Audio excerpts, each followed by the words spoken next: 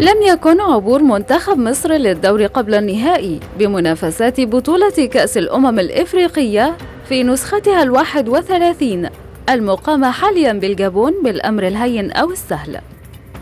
فقد احتاج منتخب الفراعنة العائد للمسابقة الإفريقية بعد غياب سبع سنوات ل 87 دقيقة حتى استطاع فك رموز دفاع أسود الأطلس المغربي عن طريق البديل محمود عبد المنعم كهربا. الذي منح كوبر وجهازه قبلة الحياة بأمم إفريقيا لمواصلة المشوار حتى الدور نصف النهائي والذي يواجه فيه الفريق منتخب بوركينا فاسو. منتخب صعب طبعا منظم مع مدرب كويس و... وإحنا كنا مستعدين والحمد لله يعني ركزنا بشكل كويس. لا طبعا هو كان المنتخب المغربي كان ند في في المباراة بشكل قوي ولغايه آخر دقيقة بيلعب.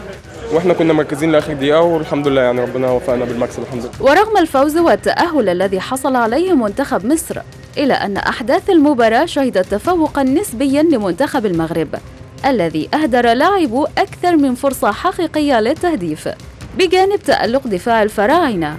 ومن خلفهم عصام الحضري في الحفاظ على الشباك نظيفة للمباراة الرابعة على التوالي بنهائيات كأس الأمم الإفريقية. زعما قلتها من الأول كان كنا groupe وتقاتلنا مع بعضياتنا وبزاف بزاف دراري ما كانوش زعما كانوا مبليسين واخا هكا زعما كرابيين راه فرقة مزيانة الحمد لله هذه هي l'Afrique حنا ما عندنا ما نديروه كيف كنلعبوا حنايا كيف تلعب مصر في ال pelouse la même pelouse.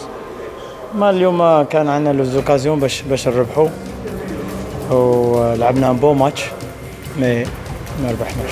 نقولوا لهم شكرا بزاف. ساعدونا.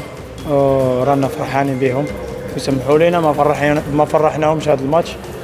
mais يقعد la tête haute حتى حنايا كلو يهز راسو يرفع راسو. et la vie continue